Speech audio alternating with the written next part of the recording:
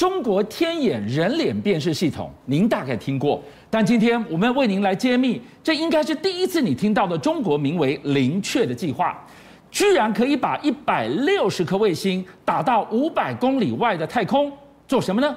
人脸辨识。您真的没听错，难不成把天网扩及全球吗？那下一步可以遂行斩首喽。马老师来告诉我们，中美黑科技的对决从地表战到外太空了。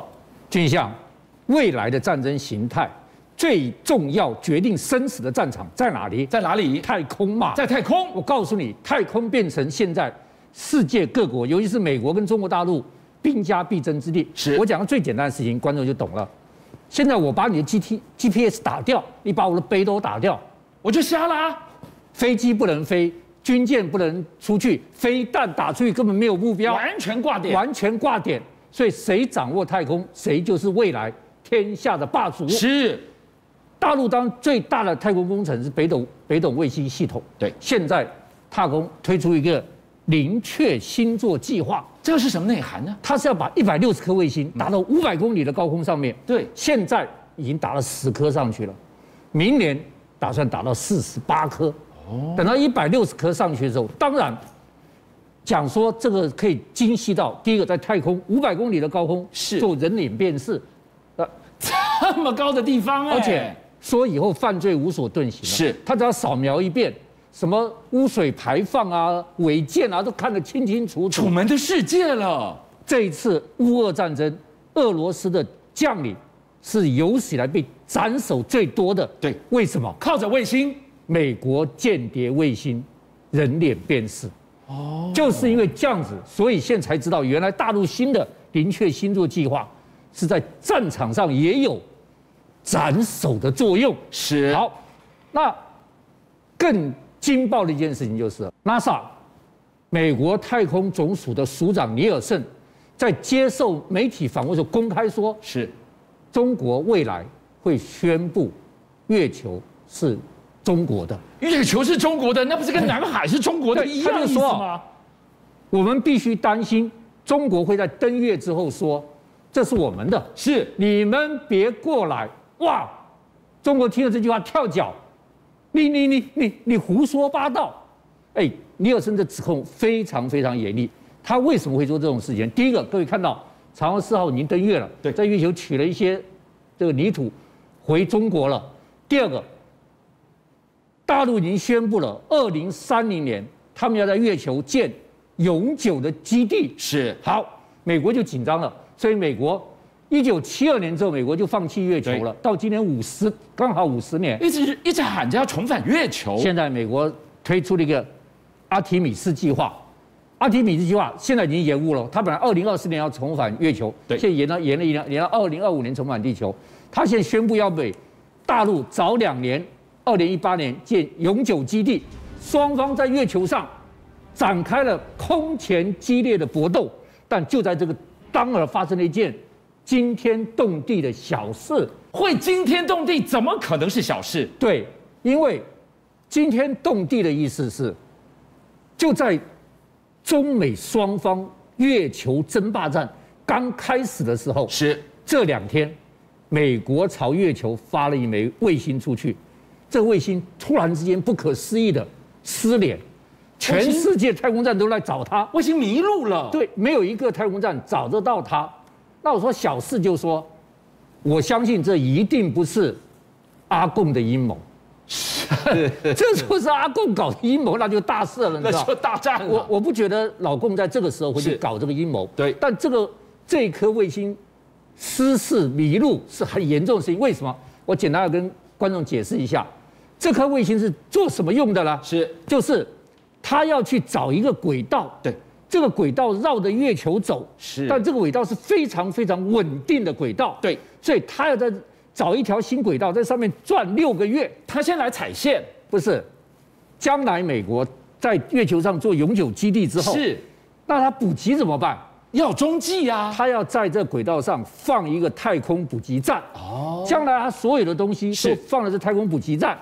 月球上的太空人就到补给站来领货，是你听懂我意思没有？听懂了。所以这个月球这个卫星第一次出发，太重要了，太重要，他去找这个太空补给站这么重要任务的一个月卫星失联了。你说是不是惊天动地大事？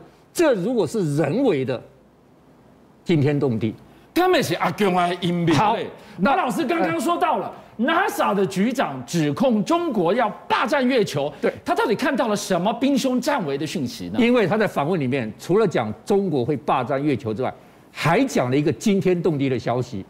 各位观众，他居然说 NASA 的署长哦，中国太空站在学习如何摧毁别人的卫星。你这个指控要有证据的，指控太厉害了。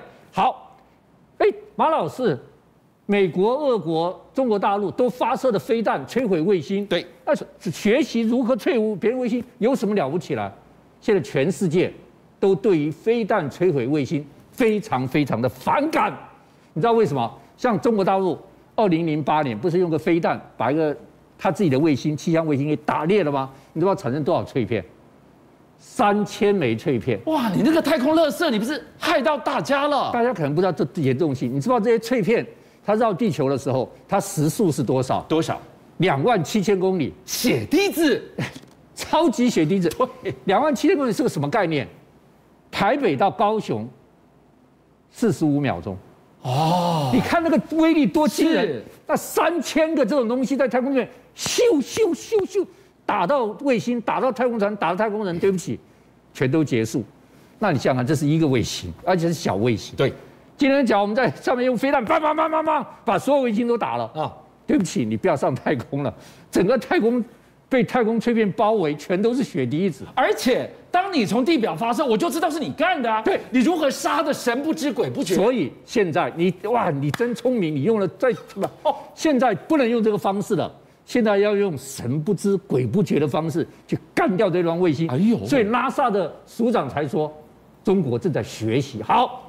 现在曝光了几件事情。第一件事情，中国做了一个反卫星机器人，这么小一个，这一上太空，这什么东西？你知道每个卫星它都有个喷嘴，是它这个一进你的卫星喷嘴，对，啪把熔熔铸炸弹放进去，嘣，对不起，你卫星完全没事，外表完全正常，放一下 把你里面功能全部炸掉，炸掉之后你的卫星还是很好的，哎，突然间失联了。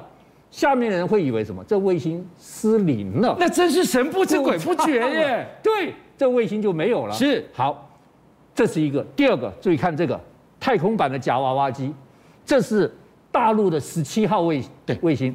它弄上去之后，它有个机械手背，它把你的卫星两种方式，一个抓过来，对，一个抓过来，可以窃听你里面的资料，可以把你里面的资料摧毁，摧毁之后再把你放回去，你根本就废物了。第二个。我就瘫了。第二个，假如你没有瘫，我轻轻用力的推你一下，你就在这地球在大气层里面焚烧了。